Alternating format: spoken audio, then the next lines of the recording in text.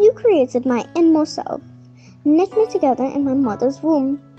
For so many marvels I thank you, a wonder am I, and all your works are wonders. You knew me true and true. Psalm 139, verse 13 to 14.